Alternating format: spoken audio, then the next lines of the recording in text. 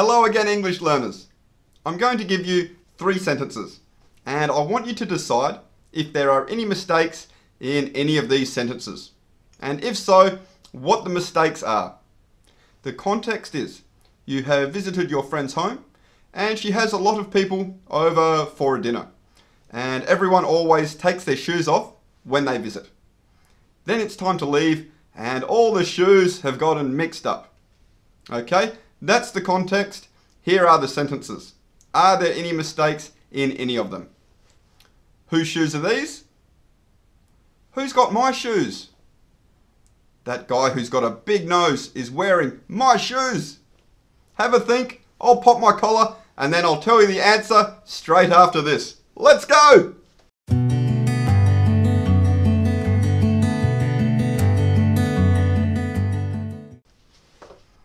Hello again. So let's find out how you did in our little quiz. Number one was incorrect. Number two was also incorrect. And number three, also incorrect. If you got all of these correct, congratulations, good job. If you didn't, don't worry. This has a very clear rule which I will explain for you right now. The mistake in all of these sentences is the incorrect use of who's and whose. These words are homophones. Homophones. Words that are pronounced exactly the same but have a different spelling and meaning. Who's with an apostrophe is a contraction. A contraction. An apostrophe can be used for a contraction or to show possession, which is why people get confused with this. The apostrophe in who's is not showing possession. Who's is a contraction of who is or who has. On the other hand, whose, spelt W-H-O-S-E, is a possessive pronoun or determiner.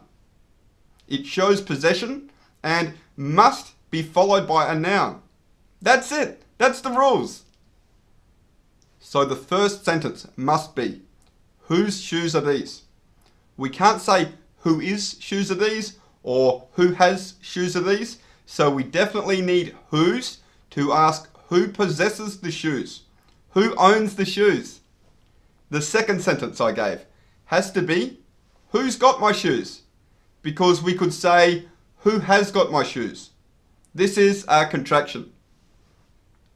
And the last example.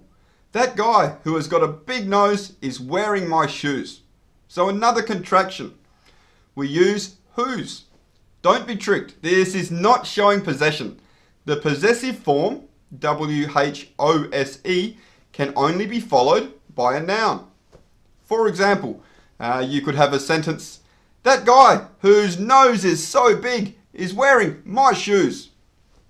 Now there is another way that we can use whose, the whose spelt W-H-O-S-E, and that is with inanimate objects for nouns which are not people but things. And this is a slightly controversial topic in English with different grammarians citing different sources. I chuck in with Fowler and Cambridge and these hold that whose can indeed be used with inanimate objects as English does not have a possessive form for which or that and using of which can be unnecessarily cumbersome or clunky. So you can say sentences like this. The car whose windscreen is cracked is his. You can see in this example, whose is being used to refer to an inanimate object, the car. This sounds quite formal though. If this sounds a little strange to you or is too formal for the tone that you want to create, the other option is to rephrase the sentence without a possessive. The car with the cracked windscreen is his. This is what I do, albeit automatically, uh, probably 99% of the time. So, that's about as deep as we need to go in today's lesson.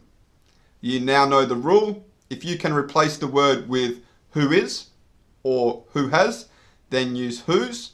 If not, then we use whose, spelt W-H-O-S-E, to show possession. Any questions, just leave them in the comment section and I'll see you in a few days for the next one. Cheers!